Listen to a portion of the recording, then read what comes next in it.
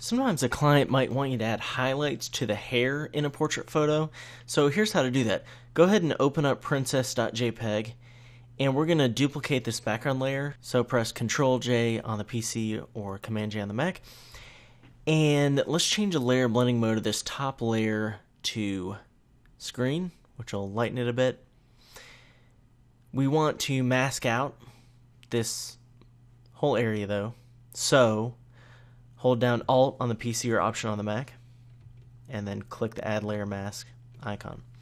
So this top layer, we don't see any of it. Now we want part of it to show through wherever we want the highlights. So choose the brush tool and choose a nice soft edge brush. Hardness set to 0%. Press left and right bracket. And we're just going to click and drag, add some highlights to that. All right. So there's before and then after. Now you might be thinking, well, you know, what about changing the size? You know, do I have to go left, then right, so it maybe changes a little bit? Well, what you can do is go to Window and then Brush, and then uh, Shape Dynamics, change the size jitter all the way to 100%, so it will change size as you paint to an extent. Oops, didn't want to do that.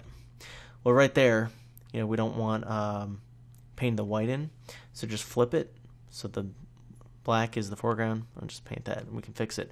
You can also mask out some areas if you think should be kind of a skinnier highlights or whatever. Again, a shortcut's X. It'll flip the foreground and background. So black is the foreground color. It'll mask out areas, the highlights. Hit X again. Now it'll bring back in highlights. All right, so that's a shortcut. X to add a little bit. All right, so there's before and then there's after. So that's if you just want some highlights in, in hair to add a little bit of interest um, in a portrait.